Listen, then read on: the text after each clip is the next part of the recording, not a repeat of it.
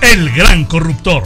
En Aguascalientes a nadie le queda duda que el ladrón Martín Orozco Sandoval es un corrupto, pero a últimas fechas ha dado muestras de que cual rey Midas invertido corrompe todo lo que toca. Ya en dos ocasiones desde la mañanera se ha desnudado a la jueza Beatriz Álvarez Rodríguez, quien para salvarle el pellejo en el caso de la desaparición del pepenador realizó un juicio parcial que al final le llevó a ser separada del caso. Hoy, Orozco ha corrompido a los diputados que le deben favores, ello para lograr que elijan como magistrada del Supremo Tribunal de Justicia del Estado a la juez segundo penal de lo tradicional, Ana Luisa Rea Lugo, quien hace dos semanas debería haber dictado sentencia en el caso que se le sigue al ladrón Orozco por el robo de terrenos propiedad del municipio de Aguascalientes. Por supuesto, a cambio, la juez Real Hugo debería dictar una sentencia absolutoria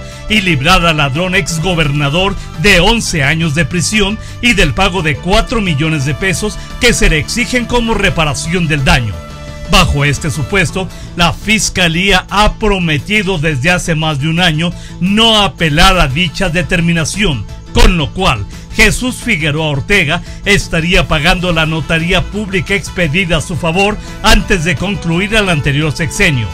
Antes del jueves, fecha pactada por el Congreso del Estado para la elección de nuevos magistrados, sabremos si la juez Ana Luisa Rea Lugo decidió no manchar una trayectoria limpia e intachable en el Poder Judicial o si por el contrario se dejó seducir por el toque corruptor del ladrón Orozco Sandoval.